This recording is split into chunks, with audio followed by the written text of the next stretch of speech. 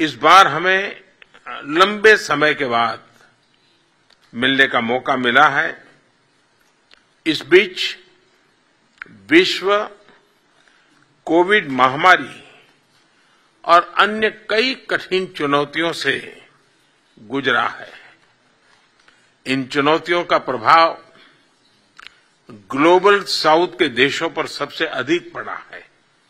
भारतीय विचारधारा में संपूर्ण विश्व को परिवार की तरह देखा गया है। वसुधैव कुटुंबकम इस मूल मंत्र हमारी प्रेरणा है। इस साल चल रही हमारी जी ट्वेंटी प्रेसिडेंसी की थीम भी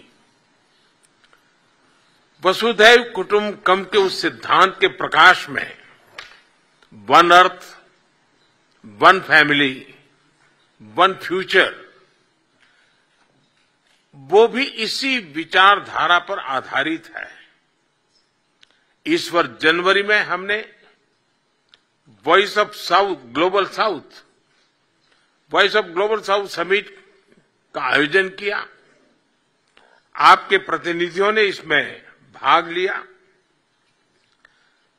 अपने विचार साझा किए और इसके लिए मैं आपका अभिनंदन करता हूँ।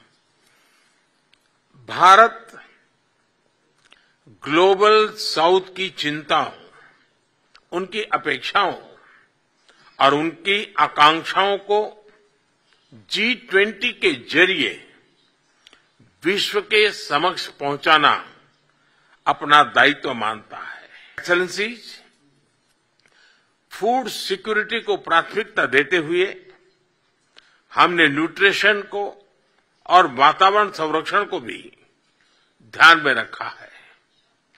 वर्ष 2023 को यूएन ने अंतर्राष्ट्रीय मिलेट वर्ष घोषित किया है। भारत ने इस सुपर फ़ूड को श्री अन्न का दर्जा दिया है। इनकी खेती में कम पानी लगता है और उनमें न्यूट्रिशन भी अधिक है। मेरा विश्वास है कि मिलेट आपके देशों में भी सस्टेनेबल फ़ूड सिक्योरिटी सुनिश्चित करने में बड़ा योगदान दे सकते हैं। एक्सलेंसीज भारत आपकी प्राथमिकताओं का सम्मान करता है। आपका डेवलपमेंट पार्टनर होने पर गर्व महसूस करता है, मानवीय सहायता हो या फिर आपका विकास, भारत को आप भरोसेमंद पार्टनर के रूप में देख सकते हैं, विश्वास कर सकते हैं। डिजिटल टेक्नोलॉजी हो या स्पेस टेक्नोलॉजी, हेल्थ सिक्योरिटी हो या फ़ूड सिक्योरिटी क्लाइमेट चेंज हो या एनवायरमेंट प्रोटेक्शन हो, हम हर तरह आपके साथ हैं। If you like the video do like comment share and subscribe